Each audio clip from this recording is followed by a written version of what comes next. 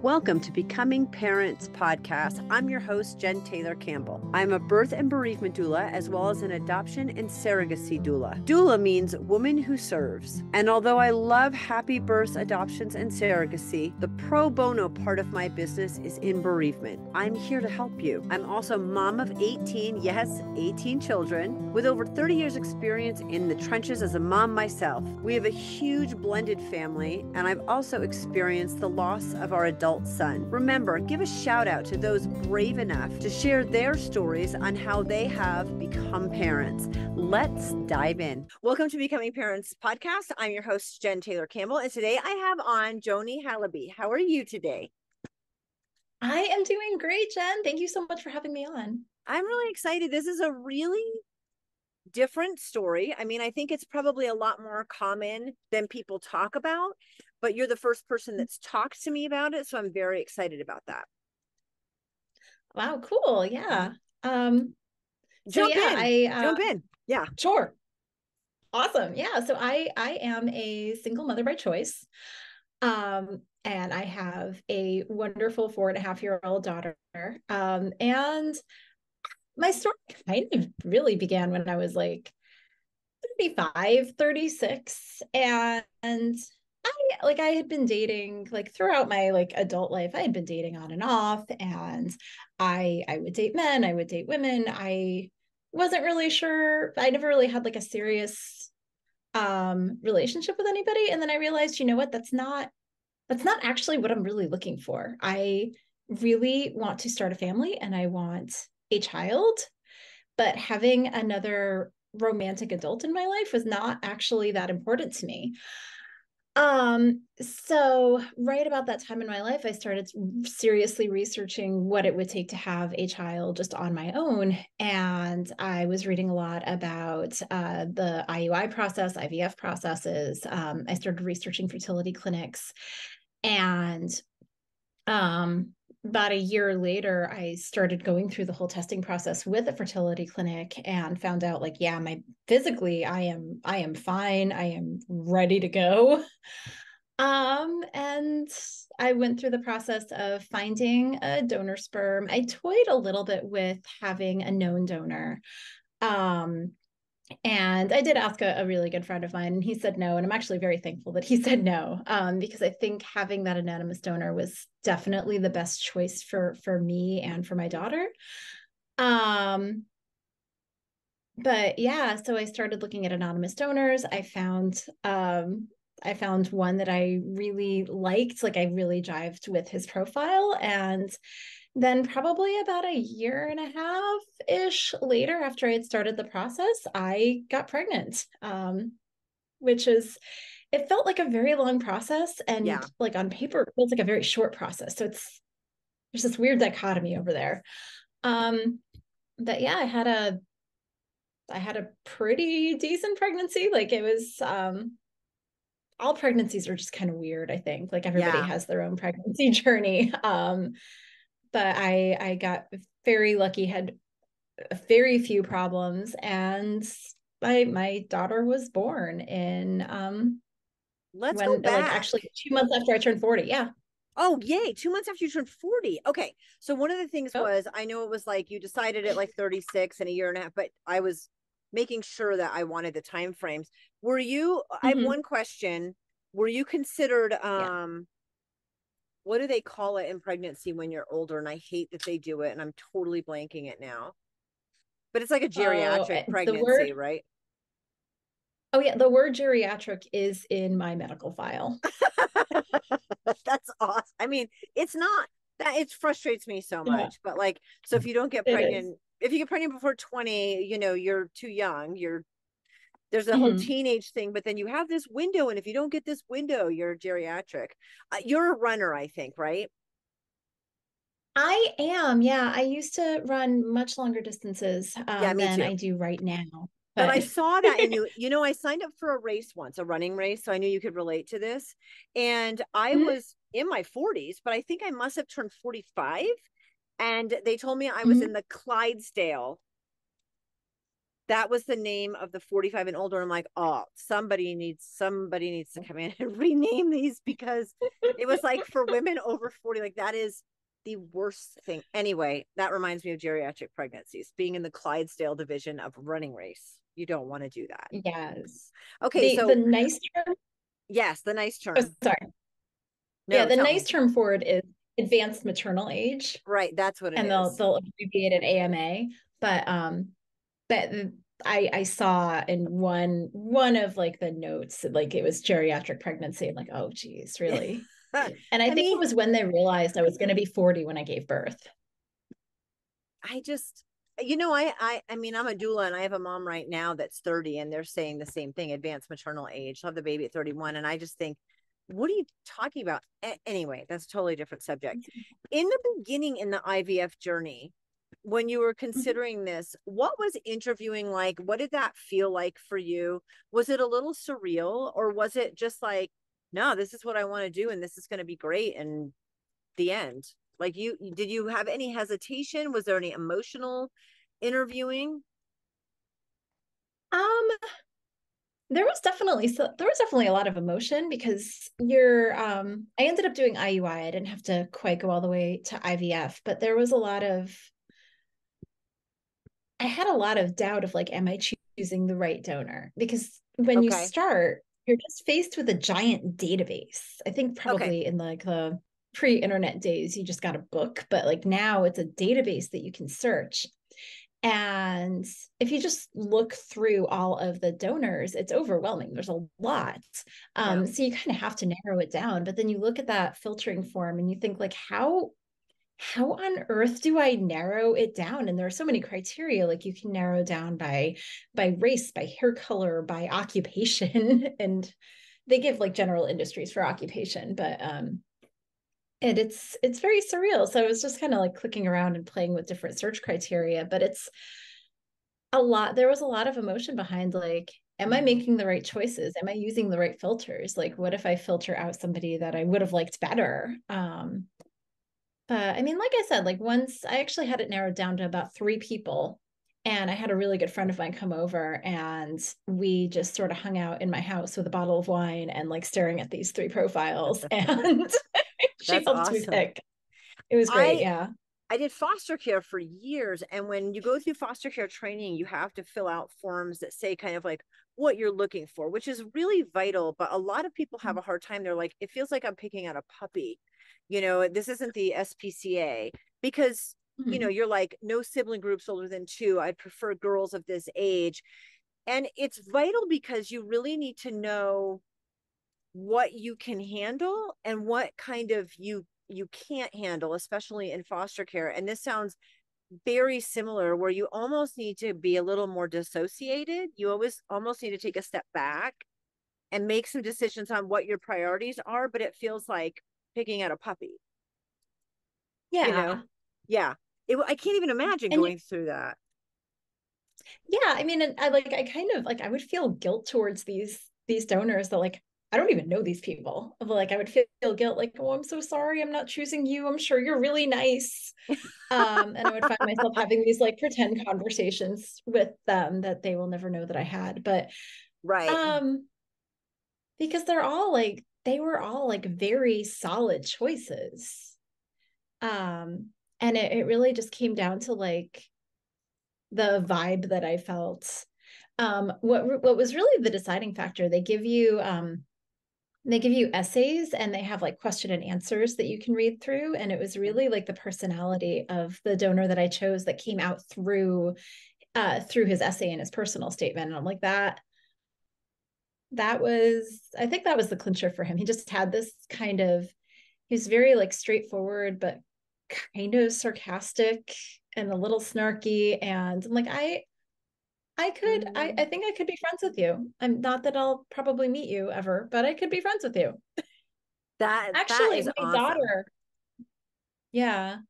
My daughter will actually she'll get the choice when she turns 18 um he's what's called an um i forget the exact term. It's kind of like an open donor but she gets a choice when she's 18 of whether or not she wants to initiate contact with him.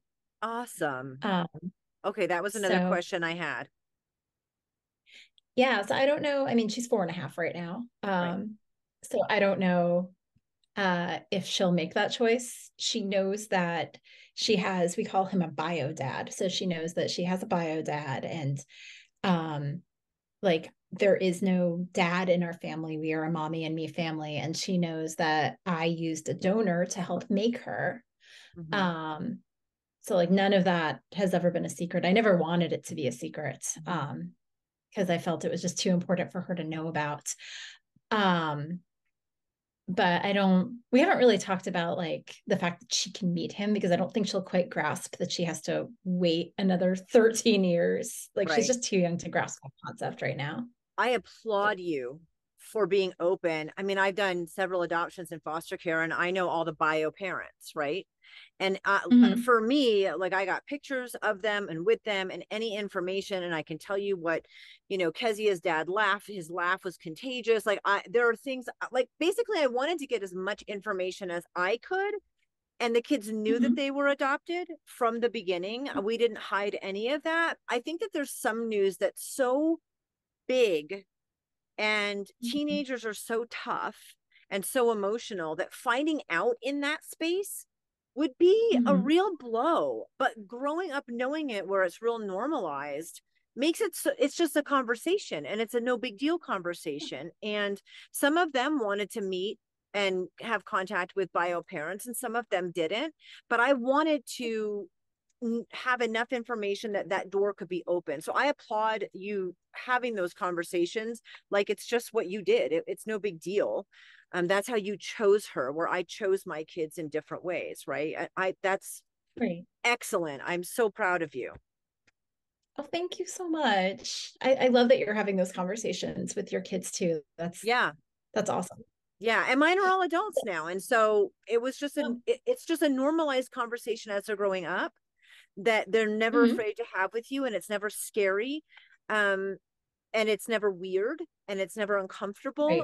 And then when they're old enough to really ask more questions, it's just an easy conversation. And then if they want to meet, it you're so open and honest with them that it's just easier. It's so much easier. She'll come to you for that, you know?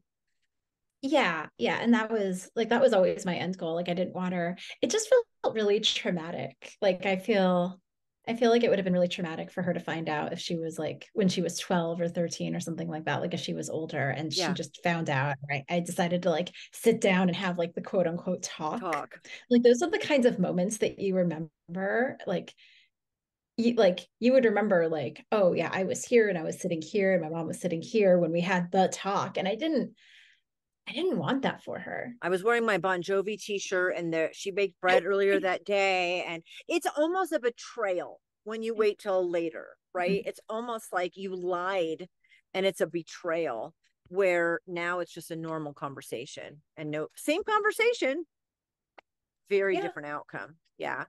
So I I call it turkey pasting. Very rude. I, I mean no ill intent. So you didn't have to go to IVF though. You actually you it's IUI? Yeah, I did IUI. So that's um intrauterine um insemination. So um kind of like turkey basting. There's a big needle. um glorified turkey. Pretty basting. uncomfortable. Yes. Okay. Not gonna, so take me through lie. it actually. Go ahead yeah so um i i got pregnant it took me four rounds um okay. and i know some women it takes so many so many more rounds um actually um if i hadn't gotten pregnant that fourth round we would have gone to ivf like that was that was the decision that my doctor wanted me to go down if like he didn't want like a fifth uh, a fifth iui um but yeah you um i had to obviously like very carefully like track my period, track my cycles. Um, and I went through a lot of testing to make sure that um, to, to make sure like I was ovulating when everybody thought I was ovulating. So yeah. we we inseminated at the right time. Um, and yeah so day of you you just kind of walk into a doctor's office and it was funny the doctor's office that i ended up at it was a teaching office So a lot of times the doctor would come in with like one or two interns and be like, "Do you mind? Do you mind if they watch?" sure, why not? Have at it. so I had an audience. Yeah, that's great. Um, that's great. But yeah, you just kind of lie on the table. They um they turkey based. Um they do they actually insert a needle up through the cervix? Um yeah, it goes um yeah, like through the cervix, like all like all the way up, like intrauterine, yep. you're going yep. into the uterus. So um it is grossly uh, like I found it very uncomfortable. I don't know if ever, if anybody else does. Um, but I don't know if, how detailed you want me to go into. You but, can go into um, as much, but I just know a normal cervix, even in ovulation, is very tight. Mm-hmm. And getting anything through that is not comfortable. It was, yeah, it was a combination of. I also, um, I was also diagnosed with anxiety when I was about 24. So, like, I have I have interesting anxiety. Um, uh, your cervix is just generally tight. I was tighter than normal. Plus, also my my girl parts are tilted. So, oh, perfect. Um, yeah, it was great. So great. So, yeah, not not comfortable, but it was one of those things that I'm like, I really want to get pregnant. I'm just gonna power through this. Yep. Um, so I mean, they do it. You kind of have to hang out there for 15 minutes just to make sure that like because it's technically a medical procedure. So um they make you sit there for 15 minutes just in case like you have some sort of weird reaction, your blood pressure drops. It's almost I didn't I never made this correlation before because COVID wasn't a thing, but it's kind of like the wait that you have to do after you get your COVID vaccine. They make you mm. wait for 15 minutes just just in case. Um but like I was fine every time. I would walk out 15 minutes later. Okay, see you later. Let's hope this works. Um, and then after that day, they have what we call the two week wait, where you literally just sit there and you I mean you, you live your life, but right. you wait for two weeks. You can't test. And so you don't know if you're pregnant or not for another two weeks. Um, and like you wait and you wait and you wait. And i remember like it was the second or third my second or third try. I was convinced i was pregnant. I had like the sore breasts. I had like i i just felt like i was pregnant. Like i was really hopeful. And then i was not pregnant.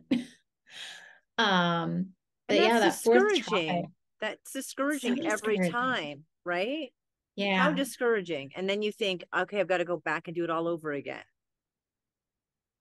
Yeah it's like you either keep going or you don't but like right. if you really if if you want to have that baby and it is expensive also because insurance especially if you're a single mother like insurance doesn't cover it because insurance will cover infertility. Um but if you haven't tried to have a baby like right they don't they don't consider you infertile so um, like every state is different. I think some states are getting a little bit better about it. Um, I live in Virginia and my insurance was just like, no, like you have to have at least like, I think it was something like six tries before they would start even covering. So wow. they would cover my tests, but they wouldn't cover any of the like the, they wouldn't cover the procedure. They wouldn't cover a lot of stuff. So it ended up being very expensive. So it's one of those, all right, well, do I, do I keep spending this money? Do I have the money to spend? Um, and I was so, I was so thankful it happened on that fourth try because IVF is like, yeah, it's a totally so much different, more expensive and it's so much more work. And yeah, so the that fourth was, time, were you hopeful? Yeah. Were you at this point? I would think like you don't even want to get your hopes up because you've been disappointed three times and you already know IVF is the next step. So you've got to like mentally start gearing for that. How elated mm-hmm. were you two weeks later when I mean I can only imagine, but you've gone through three times where it didn't work. Yeah. So how ecstatic I, I, were you? So I found out at work. They called me while I was at work and I literally screamed and then I I couldn't tell anybody because I wasn't I wasn't my boss knew because I had so many doctor's appointments. I didn't I actually told her what I was doing because I didn't want her to think I was like interviewing somewhere else. Yeah. Um but because that would have been awkward. But um, no, so like my, she knew, um, and I told her right away, um, and I told like a handful of friends, but like the vast majority of people I worked with did not know. So like I screamed, and I'm like, oh, no, never mind, it's fine, can't talk about it. um, but I was I was over the moon. I was so excited. Actually, they um they made me do the pregnancy test twice. Uh, they make you they make you test a few times but the first test they test your hormone levels. Like that's basically all pregnancy test is. They're testing your hormone levels. And um like your kind of baseline is maybe here and you're pregnant at about here and mine were like way up here so okay. they they thought for a minute that i thought it was having twins. Because oh, wow. my heart like my levels just shot up so high that like the like for for a couple of weeks they're like let's let's make sure there's only one.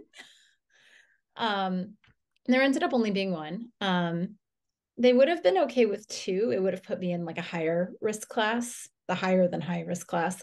Um but like we started having conversations because it's very easy to have multiples when even if you're doing IUI like it's very very easy to have multiples. They were saying like listen like we're going to have some hard conversations if there's three or more in there. Um yeah. but it ended up only being one. So your pregnancy I don't know yeah well I mean we never know Sorry. what we're going to do if that like you have to deal with it when it happens right? Because that would have been a very yeah, different exactly. situation you would have been geriatric yeah. with multiples. you don't want that. so your pregnancy yeah, went well. It went well. There was nothing really abnormal about it. Yeah, yeah, pretty pretty standard. Um, I ended up um my doctor kept telling me it was okay to still be active it was okay to keep moving um, they approved me to run so they said like i could keep running until i wasn't comfortable with it so i ended up running until i was 31 weeks Yes. And I was so excited to be able to do that. And then I just felt because I gained all of my weight in my belly. Yeah. So I felt I was just like jiggling her around after a while and it just felt really uncomfortable. And that that was the point where I said, okay, you know, don't shake the baby. Like this is yeah. It just felt like I was shaking the baby in my belly. Like it just that it was very uncomfortable. So I mean I kept working out. I would, but I would do more like walking workouts. So I'd like incline walk on a treadmill, um, do very, very light weightlifting. Like it was something that I had already all like I'd always been like just doing like dumbbell weights. Um, yeah. so my doctor said it, I can still do that, just no more than 20 pounds. So fine. Um, but yeah, I my last workout was the day that I checked myself into the hospital to induce labor. Okay, so I want to jump into that. What I love that your mm-hmm. last workout was right when you were going into labor. That's awesome. Why did they induce you? I I read this part. I read your blog about. I read each of those blog posts mm-hmm. about the delivery. So I I know a little bit about that. I'm definitely want you to mm-hmm. tell it in your words. But why did they induce you? It was purely age. She oh. was not ready to come out. It was purely because I was 40 and my high risk doctor was very adamant of like you need to like you need to be induced on your due date and we are going to schedule this and you're going you're going on your due date. Um and i am pretty convinced that that um that she wasn't ready to come out no i didn't think they, so either. they, yeah like they induced labor. So i um I checked myself into the hospital and then that night they gave me all the all the meds to start inducing labor and the next morning they expected me to start being in labor and I wasn't. Um like she was in position like she had gotten into that like head down position um like weeks before. So like she was in the right position but they looked at me and they're like your levels aren't there. Nothing is open. Um I was I was still like zero dilated. Um and they were they were just looking at me like do we induce again? Because at that point it had been somewhere between 12 i forget the number but it was at least 12 hours after they had given me the meds because they gave me the meds and just went to bed. Um and so we were having that discussion of like okay well do we do we wait for this to maybe kick in? Um, do we give you more medication to try to keep inducing you? And then my um, my OB came in and she did a physical exam. And then she told me, like, you know what? We need to do a C section because she kept, she was feeling around and she, she told me, and no other doctor had told me up until that point, my pelvis was too small for a baby's head to go through.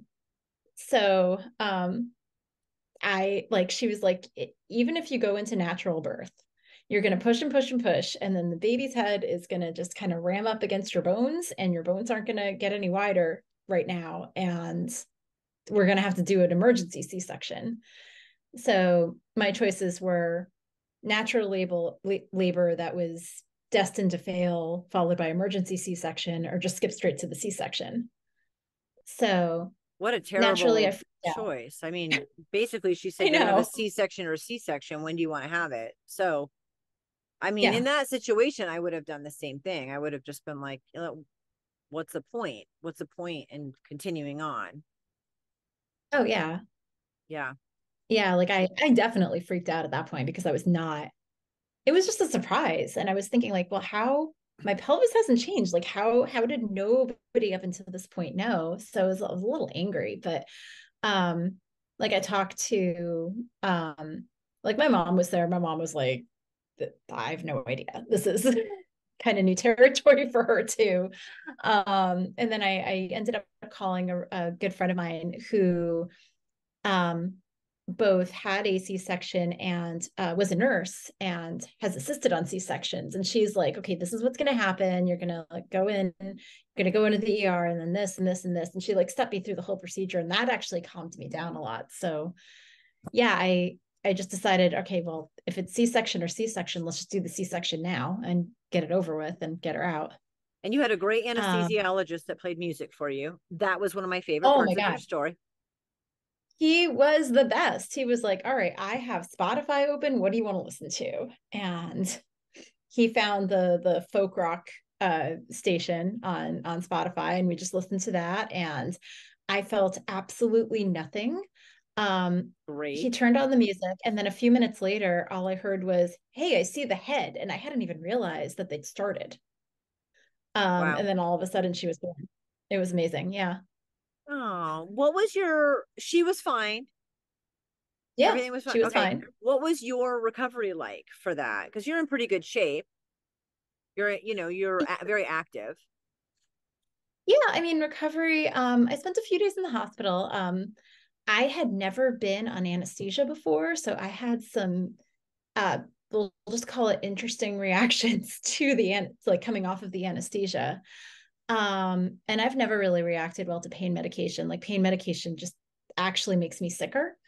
Mm. Um so once we kind of figured out pain management, I ended up going on like just they didn't give me any of the heavy stuff because the heavy stuff is actually what makes me sick. So they gave me um uh, just prescription grade Motrin. So like once we kind of figured that out, um, I got released and like she was fine. Um, she actually could have gotten released before me, but right we kind of had to wait for me. So it was it was only going to be a couple of days. So we figured, all right, well we'll just get released at the same time.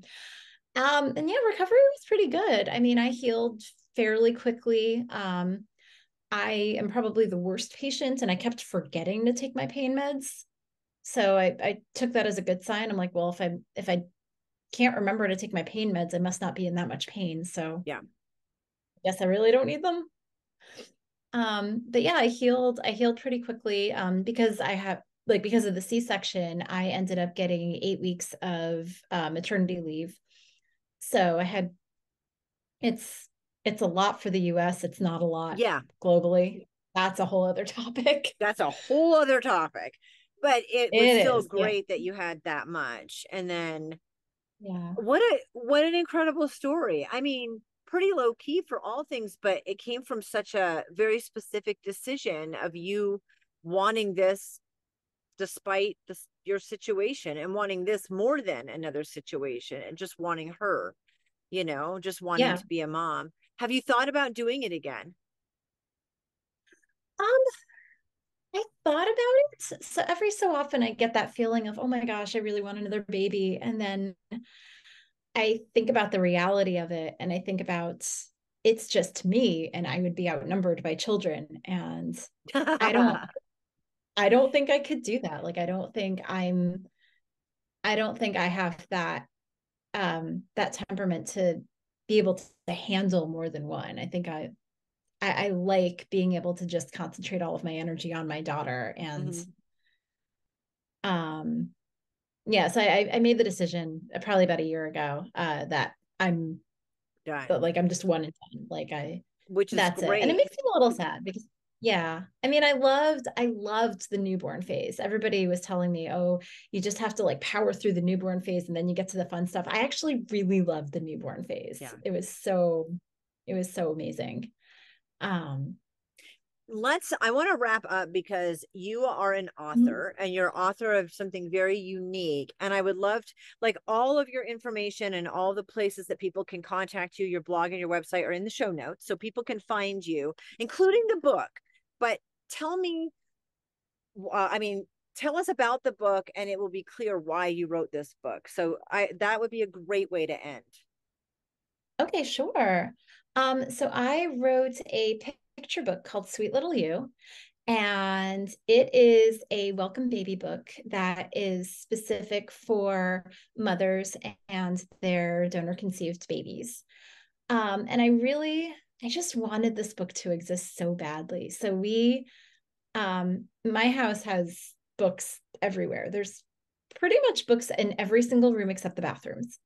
Um, I, I'm not a bathroom reader. I, but anyway, um, just not. But yeah, we we have books everywhere. My daughter has a bookcase already. She's had a bookcase in her room since she was about one and a half. Um, because just having stacks was getting too much but yeah like we have books everywhere and we were gifted a lot of books when um, i had my baby shower i buy books a lot we go to the library we just we just have books um, and we got we've acquired like a good number of welcome baby books and i love them there's they're the cutest books ever but i kept getting really annoyed when i was reading them because it would have all of these plural pl- pronouns so we welcome you. We are so excited that you're here. Mommy and daddy are um uh love you so much. And um it was just like we, we, we. And that didn't it didn't really feel genuine to our family situation. Um so one night I just sat down and I I it just kind of came out the first draft. The first draft just came out in maybe like a half hour because I was just so frustrated with all these books. I'm like, I I want a welcome book that is just for us. Um so yes, I wrote I wrote the first draft in about a half an hour and then it took me a year to edit it. Um because mm-hmm. writing a picture book is hard. Every word matters. Um so yeah, so I went I went through the whole process of um, I started looking at like some vanity publishers and I had a couple of interviews and they were very encouraging. But then I'm like, I really, I really want creative control. So I ended up self publishing this book. Um, and I found this amazing, amazing illustrator. Her name is Lisa Wee. And she, um, here I have, just going to show the oh, cover. It is. She knocked it out of the park with the illustrations. Like I, I love everything that she did with the artwork. Um, and yeah, it was published last August and it's it's my book baby. oh yay. That's so it's so important. This is so important.